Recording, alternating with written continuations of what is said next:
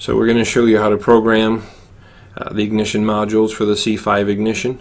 Uh, this is a typical motorcycle ignition. Uh, there's several different diameters. Um, some modules have an extra grounding lead, some do not. Uh, all ignitions have this lead. The only thing that you are concerned about when you're plugging in your programmer uh, is this is this connector right here. This portion of the circuit board is how you actually attach your programmer to the module. Uh, when you have it connected correctly, there will be a bright red uh, LED light that turns on. That's the TDC marker.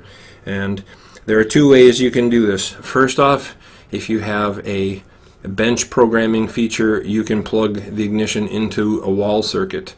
Uh, if you do not, then you'll use your battery power or a motorcycle battery on the end of your programming lead, uh, the red power that runs your ignition module, uh, that will be hooked to or connected to the 12 volt positive lead of your battery. And then you can either use the grounding lead, if your ignition has one, you'll hook the grounding lead up to the negative terminal of your battery. Or if you don't have that, then you will simply connect a jumper wire to the silver back lining this entire area here is a grounding surface for the module. So you can connect your negative terminal, your ground or earth terminal onto the circuit board and provide the positive power to the ignition module here. And if you do it correctly, then when you install your programming cable, which looks like this, as you can see it's L-shaped.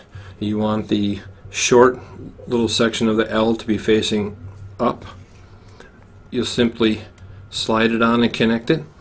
And if your power light comes on, the TDC light comes on a bright red LED, then you know it's connected correctly. The next step will be to open your software and proceed with the programming changes. It's just that simple. When you're done, you'll simply pull it straight off, disconnect it, and you'll be ready to reinstall this in uh, your motorcycle engine.